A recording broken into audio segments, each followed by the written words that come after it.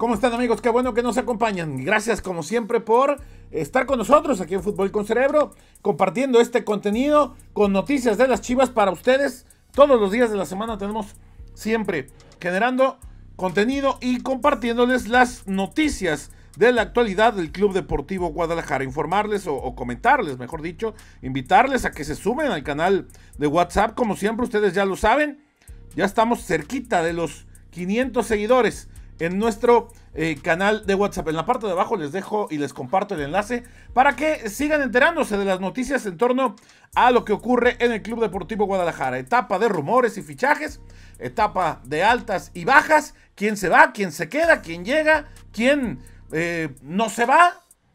Esto también lo vamos a platicar, por supuesto, en este video. El tema de Víctor El Pocho Guzmán y su relación con Belko Paunovic, la cual, pues ya sabemos, está dividida. Y no de hoy, sino de hace tiempo. ¿Qué tiene que pasar? Porque no hay mucha certeza por hoy entre que si se va o se queda. Hay claridad entre lo que quieren las partes, pero no hay claridad entre cómo lo van a resolver y qué tiene que pasar. De eso vamos a platicarles, de eso les voy a compartir en este video. Les invito a que se queden hasta el final. Yo soy Chema Garrido y les comparto en este canal de Fútbol con Cerebro noticias de las Chivas todos los días de la semana. Les invito a que se queden hasta el final de este contenido. Noticias de las Chivas hoy aquí en Fútbol con Cerebro. Todos los días de la semana tenemos para ustedes contenido. Así que les invito a que se queden aquí en este canal y por supuesto platicamos qué pinta en el futuro de Guadalajara con el Pocho y con Pauno pueden seguir juntos y qué hay que hacer para que esto ocurra. Quédense y lo platicamos.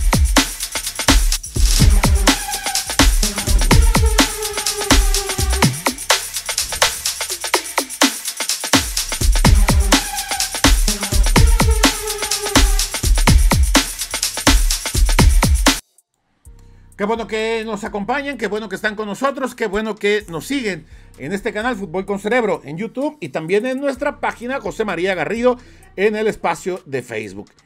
Eh, pues creo que está muy claro qué es lo que quieren todos. El Pocho se quiere quedar. Pauno no estoy tan seguro de que quiera de que quiera aún tener a un jugador como Víctor Guzmán en el equipo. No estoy seguro. No estoy afirmando otra cosa, pero hoy no me parece que Pauno tenga la intención de retener a este futbolista, de que siga todavía en el Guadalajara. Y la directiva, pues por supuesto, quiere que se quede. Tanto tiempo batalló Guadalajara para recuperar a Víctor Guzmán después de aquella fallida negociación de José Luis Higuera, donde pues prácticamente se lo regaló a Pachuca ¿no? Para mantener un préstamo en la época de Matías Almeida. Imagínense desde cuándo estamos hablando. Tanto trabajo le costó a Chivas recuperar a este jugador para que después de un año, ¡pum! Pásala bien, vete al Pachuca, ándale. Eso por un lado. Por otro, si ustedes creyeron que Víctor Guzmán tenía posibilidades de irse al Pachuca, no, nunca. Punto número uno, el sueldo de Víctor Guzmán en Pachuca, no. Punto número dos. Y lo platicaba también en las últimas horas la gente del francotirador en récord. El Pocho Guzmán ya tuvo diferencias también en Pachuca con Guillermo Almada. O sea, son dos cuestiones importantes. Una, el tema de las eh, relaciones humanas en el club. Que esto nos diera para pensar sobre si, ¿será que el Pocho es un jugador conflictivo? Pero lo platicaremos eso inclusive en otro espacio, inclusive lo podemos platicar en, Legión Tapatía con Jesús Bernal. Si es realmente un jugador complicado de manejar Víctor Guzmán, que a mí me parece que no, no necesariamente. Eh, pero otro tema que también nos deja para analizar es el tema de los sueldos en Chivas, ¿no? Pocos equipos, por no decir que si acaso me sobran dedos de una mano para decir cuántos equipos pueden pagar lo que Chivas paga en caso de una negociación de un jugador del Guadalajara hacia otro equipo, ¿no? Que no, no, debe, no debe ser nada, pero nada sencillo. Eh, así que, bueno, por ese lado, ¿no? Por ese lado, ahí está esa situación. Con Pachuca no, y eso descártenlo. Entonces, en Chivas quieren que se quede, Pocho seguramente se quiere quedar, Pauno no lo sé. Aquí es donde tiene que aparecer el trabajo de Fernando Hierro como director deportivo. que me parece ha hecho las cosas sumamente bien en muchos aspectos. Hoy Fernando Hierro podría tener una evaluación muy positiva al frente del Guadalajara, sobre todo por manejos internos que ha sabido realizar. Y ahora tiene por delante Fernando Hierro este importante reto. Resolver y ayudar a limar las asperezas y las diferencias que hay entre Pocho Guzmán y Paunovic. Hablando, sentándose a platicar. ¿Qué quiere uno? ¿Qué quiere el otro? Que los jugadores quieren más trabajo de cancha y menos gimnasio. Que el técnico pide mayor compromiso de los jugadores. Mayor voluntad. Que se adecúan a lo que el técnico quiere. De eso se trata. De ponerse de acuerdo todas las partes. Para que esto pueda salir adelante. Este equipo ya demostró que puede hacer cosas importantes. Con esta misma base de jugadores. Con esta misma plantilla. Con este mismo equipo llegaron a una final. El tema es que se pongan de acuerdo todos.